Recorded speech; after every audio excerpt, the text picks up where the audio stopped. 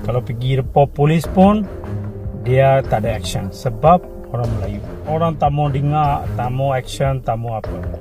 Sebab orang Melayu.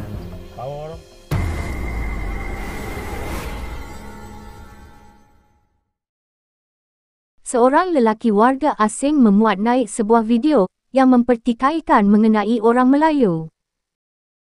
Menerusi video yang dikongsikan, lelaki ini meluahkan rasa tidak puas hati apabila isu warga asing sering dibangkitkan di media sosial.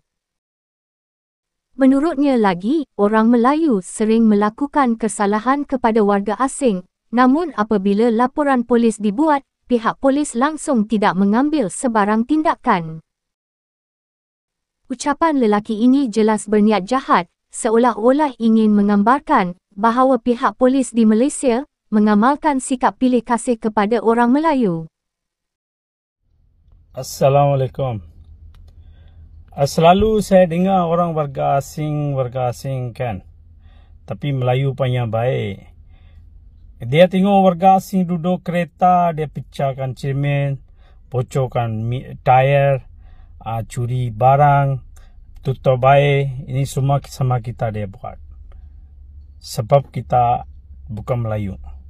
Kalau pergi report polis pun, dia tak ada action. Sebab orang Melayu. Kita atas pergi pun, dia tak dengar. Sebab orang Melayu komplain, kita dia tak dengar. Ya. So macam ini kita macam mana duduk Malaysia? Selalu cakap warga asing macam ini buat, ini macam buat. Kalau kita kurang hajar atau pukul, kita salah. Kita orang warga asing. Tapi dia orang buat, orang tak mau dengar, tak mau action, tak mau apa. Sebab orang Melayu. Orang Melayu banyak baik. Ini susah saya tahu. Saya baru ada aduan raya Malaysia ini social media. Itu pasal saya ada komplain.